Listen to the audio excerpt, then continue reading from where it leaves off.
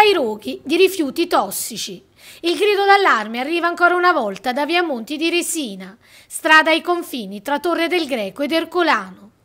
Tempestivo l'intervento sabato pomeriggio dei vigili del fuoco che hanno provveduto immediatamente, come mostrano le immagini, a spegnere il rogo.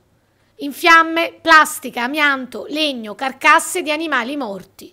A nulla sono servite le numerose denunce e segnalazioni dei residenti anche attraverso la nostra redazione e le continue richieste agli amministratori dei due comuni ad intervenire con urgenza. Via Monti di Resina continua ad essere una discarica a cielo aperto.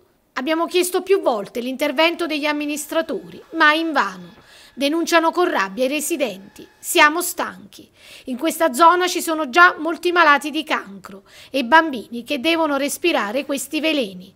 È vergognoso. Gli organi preposti devono prendere i dovuti provvedimenti al più presto.